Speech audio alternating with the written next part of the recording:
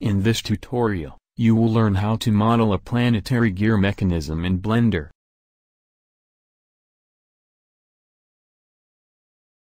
A simple planetary gear system consists of three components.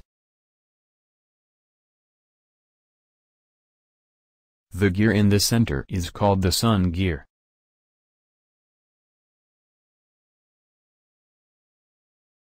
The outer gear with the teeth pointing inwards is called the ring gear.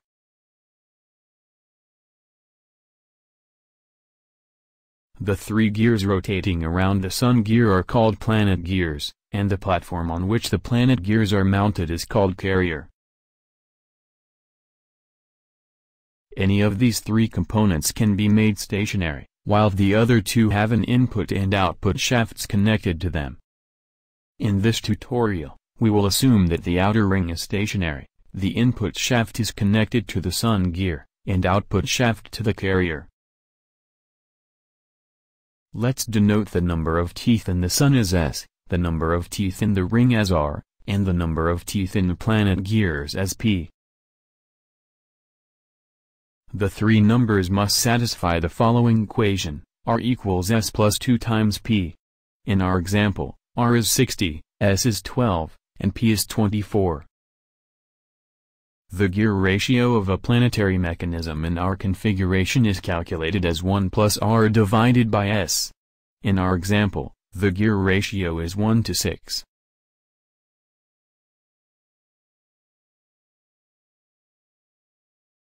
Multiple planetary mechanisms can be stacked to form a compound drive. This produces a very high overall gear ratio.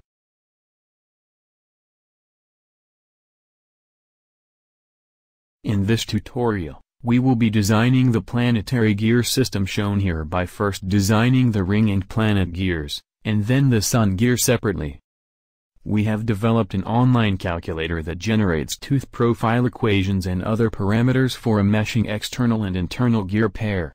This calculator can be found at www.vinted.com internal.html. In addition to entering the number of teeth in module, we will also be entering the profile shift coefficient, a parameter we did not use in our previous tutorials. When a gear has 12 teeth or fewer, the gaps between its teeth are not deep enough to accommodate the teeth of the other gear. Here, the overlaps are marked with red arrows. To fix this problem, a positive correction to the smaller gear's profile needs to be applied. The parameter controlling this correction is called profile shift coefficient and denoted by the letter X. As a result, the smaller gear's teeth become sharper, and the gear itself is moved farther away from the other gear. We will be applying the profile shift coefficient of 0.5 to the ring and sun gears, while leaving the planet gears with no profile shift. Let's start modeling. Delete the default cube by pressing X. On the numeric keypad, press 7 for the top view, and 5 for the orthographic mode. Select 3D cursor for the pivot center.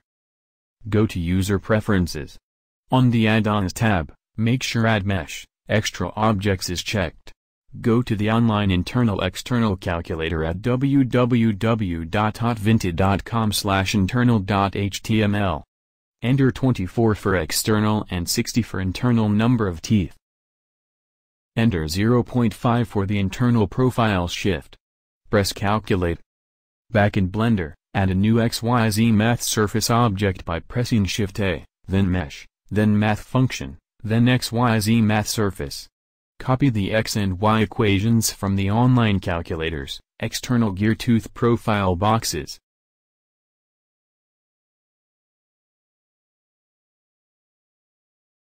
Enter 0 for the Z equation. U-min should be 0 and U-max should be 1. Enter 10 for U-step and uncheck the U-wrap box.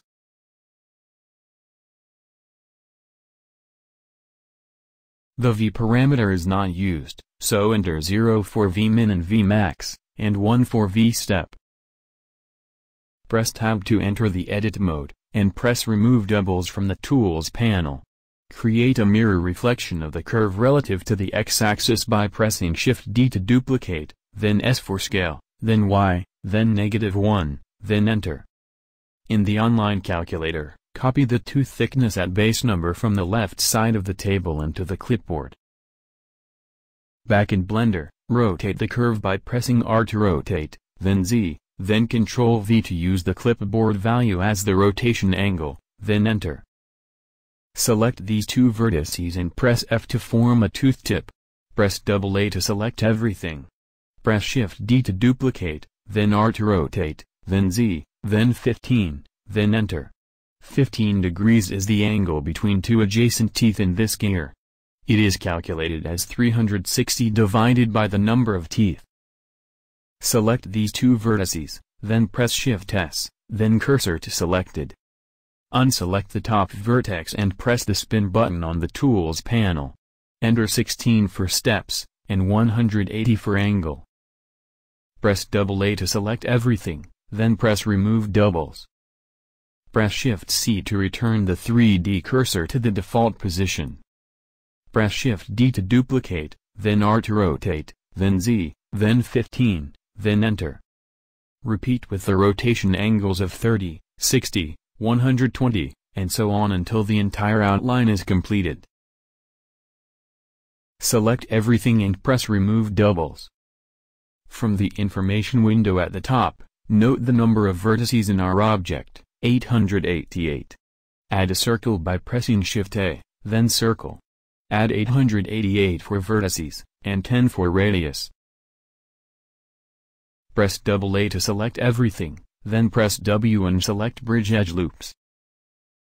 Press C to extrude, then double Z, then 10, then enter. Select everything and press Ctrl N to fix normals. Press Tab to exit the edit mode. Our planet gear is ready. Call it planet. For the ring gear, add a new XYZ math surface object. This time, copy the x and y equations from the online calculator's internal gear tooth profile boxes. All other parameters are the same as before.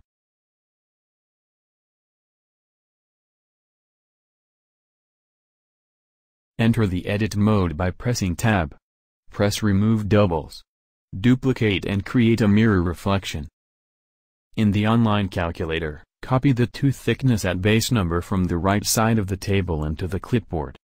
Back in Blender, rotate around the z-axis by this angle by pressing R, then Z, then Ctrl V. Connect the two rightmost vertices by selecting them and pressing F. Select everything, duplicate and rotate around the z-axis by 6 degrees, which is 360 divided by the number of teeth in the ring gear.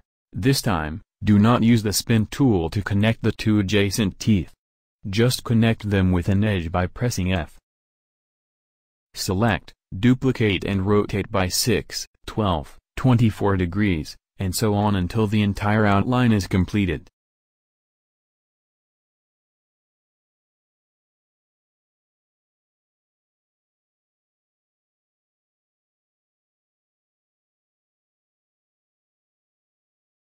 Select everything and press Remove Doubles.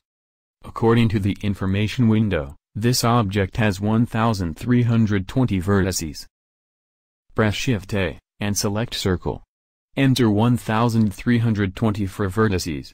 Scale it up until it fully encloses the tooth outline.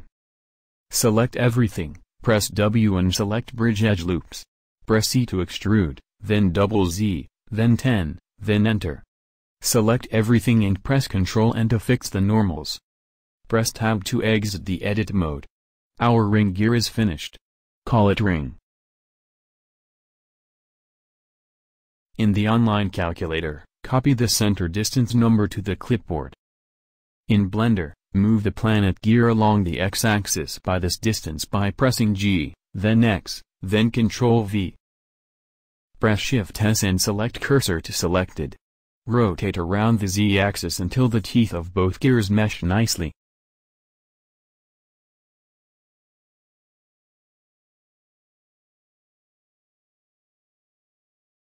Press Shift-C to return the 3D cursor back to the origin. Now let's model the sun gear. In the online calculator, press reset. For the external gear, enter 12 for the number of teeth, and 0.5 for the shift profile. Any arbitrary number can be entered for the internal gear, such as 40 and 0. Then press calculate. Back in Blender, switch to layer 2 to avoid clutter. Using the equations from the online calculator, perform the same modeling procedure as with the planet gear.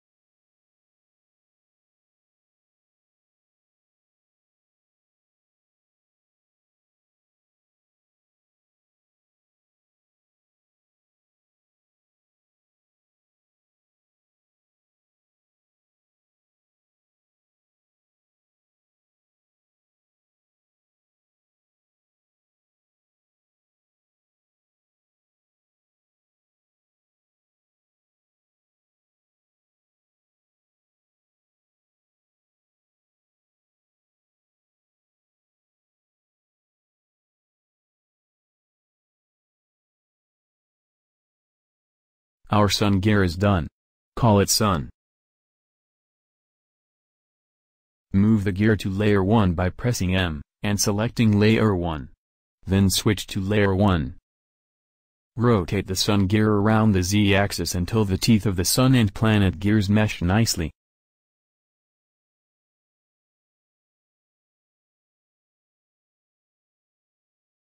Our design is essentially complete. The rest of the tutorial is dedicated to testing it using Blender's rigid body physics engine. To improve stability, we will give the teeth of all our gears a herringbone shape by creating a loop cut in the center and rotating it. Press Ctrl R to create a loop cut, followed by a left click, and a right click. The rotation angles are inversely proportional to the number of teeth we will apply a negative 3 degree rotation to the Sun, positive 1.5 degree rotation to the planets, and positive 0.6 degree rotation to the ring. We will also change the shape of the hole in the planet gear, from cylindrical to double conical, so that the gear is more stable when mounted on the carrier. Select the planet gear and enter the edit mode. Create a loop cut in the inner cylinder. Select the top and bottom rims. Press Shift S, then cursor to selected. Scale it down by the factor of 0.4 along the X and Y axes by pressing S, then Shift Z, then 0.4, then Enter. Press Shift C to return the 3D cursor back to the origin. Duplicate the planet gear by pressing Shift D, then rotate it around the Z-axis by 120 degrees. Then do it again to create a third planet gear. Select the planet gear on top of the x-axis and duplicate it by pressing Shift D. Move it to layer 2 where we will be designing the carrier platform. Switch to layer 2. Press tab to enter the edit mode. Select top, middle and bottom tooth outlines and delete them. Select everything, press Shift S and select cursor to selected. Scale this geometry down by 0.5% along and x and y axes by pressing S, then Shift Z, then 0.995, then Enter. Close up the top opening. Select the top rim and press E to extrude then Enter. Press Alt M and select at center. Select the bottom rim. Extrude downwards along the Z-axis by 2 mm by pressing E, then Z, then negative 2. Repeat this step one more time. Close up the bottom opening by pressing E to extrude followed by Alt M. Press 1 on the numeric pad to switch to the front view. Press the Occlude Background Geometry button. Press the Face Select button. Using the box tool, select approximately one-third of the faces from the left side of the lower section. Press X and select faces, to delete them. Press Shift-C to return the cursor back to the origin. Select everything, Duplicate and rotate the geometry by 120 degrees around the z-axis. Repeat it one more time. Switch to the edge selection mode. Select these edges and connect them by pressing F.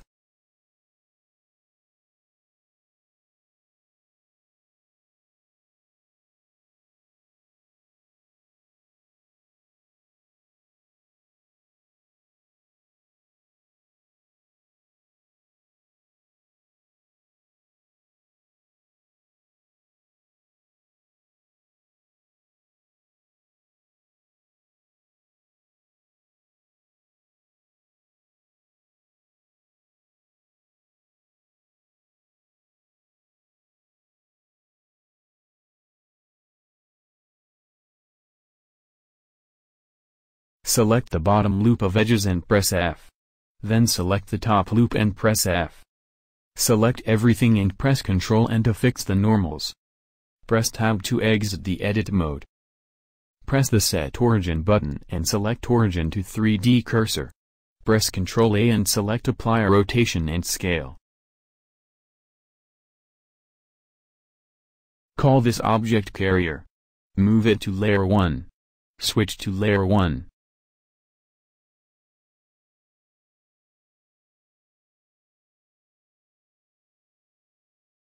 Add a cylinder and move it up. Call it axis.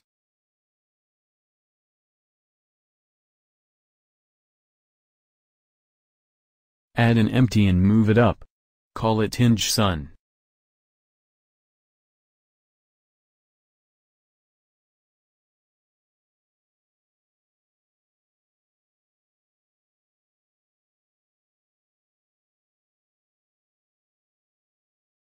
Add an empty and scale it up.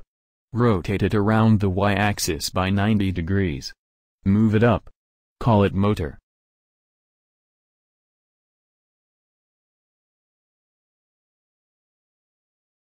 Add an empty and move it down. Call it hinge carrier.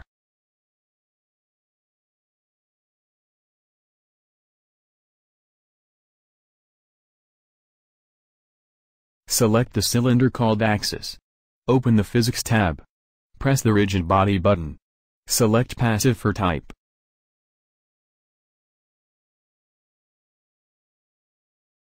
Select the ring gear. In the Physics tab, press the Rigid Body button. Select Passive for type, Mesh for shape, 0 for margin, and 0 for friction.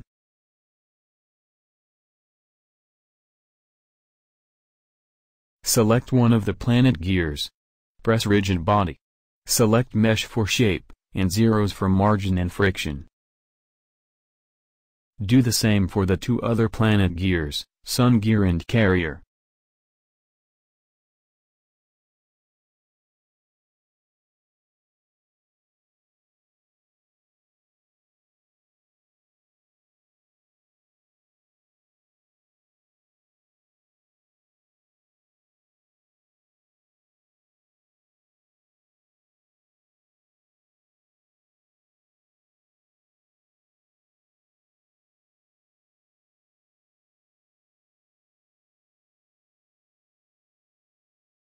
Select the empty called hinge sun.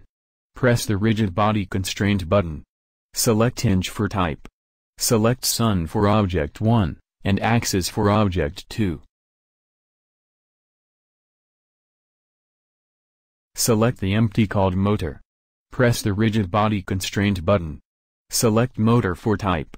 Select sun for object 1, and axis for object 2. Enable the angular motor. Select the empty called hinge carrier. Press the rigid body constraint button. Select hinge for type. Select carrier for object 1, and axis for object 2. Our setup is ready. Press the play button to start the simulation. Because of the complex shape of the carrier, the simulation runs very slowly. We are going to pause the video until the 250 frames are computed.